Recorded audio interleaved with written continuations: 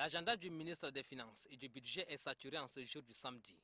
À l'Agence nationale des investigations financières, une institution créée en 2007 avec pour mission le recouvrement et le redressement des recettes fiscales, le ministre a échangé avec le staff technique. L'accent est mis sur la réflexion des locaux de l'institution compte tenu de leur état de vétusté. S'agissant du volet travail, le ministre des Finances et du Budget a demandé au personnel de privilégier la communication pour la bonne marche de l'institution. À la NIF, la visite du ministre a été d'un grand réconfort pour le staff dans la mesure où elle constitue une première pour cette institution. Cette poussée d'adrénaline provoquée par cette descente permet dorénavant, selon le staff, de lutter sans retenue, voire de mettre totalement fin à la délinquance financière.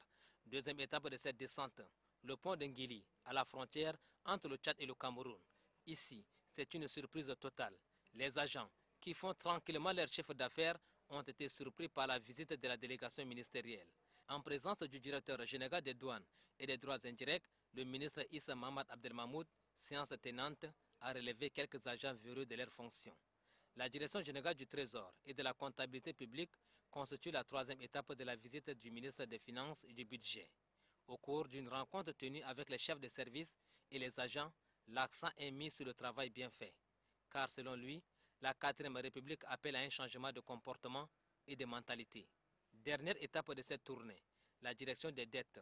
Ici, comme dans toutes les autres institutions visitées, le message livré par le ministre des Finances et du Budget au personnel reste le même.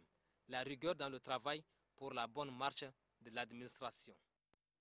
Nous avons constaté au niveau que les gens fonctionnent euh, comme ils veulent, les gens travaillent très mal, les gens liquident euh, parfois sans, sans apprécier euh, réellement le dossier, sans une bonne liquidation.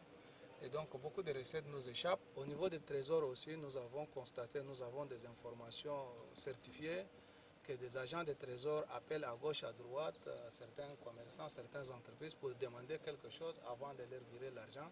Donc ces personnes-là, nous les avons virées et nous avons demandé à l'IGF de continuer à, faire le travail à l'effet de poursuivre ces personnes. Donc il y aura désormais tolérance zéro.